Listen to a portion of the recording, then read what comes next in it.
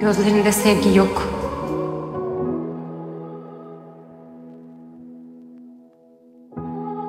Öfke var. Seviyor musun anne? İlk aşkımdı benim. Ay, Sevsem ne olacak ki? Devam et. Kırgınım sana. Tek devam ettirebildiğin duygu bu değil mi? Siz de bir haber verin artık biri geleceği zaman. Senin evin burası. Kenan.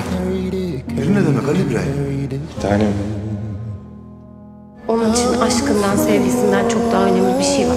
Ben bunun için yaşadım. Sen ne zaman benim kendi hayatımın üstüne bir hayal kurduğumu gördün? Öfkesi ve intikamı. Ne söyleseydim? O bir şey demedi mi peki? Ya sen nasıl görüyorsun? Ben göremiyorum Elif. Sen bir ay öncesine kadar beni seviyordun ya.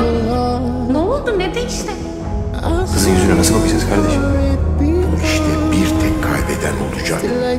Sen onun yüzüne nasıl bakacaksın? O da sen. Ben seni her şeye ve herkese rağmen sevdim. Hala seviyorum. Ben seni hala çok seviyorum. Eğer bir gün beni kaybettiğinde öfkelenmek yerine üzülürsen gitmek istemiyorsan gitme. belki o zaman beni sevdiğine ikna olurum. Loving you is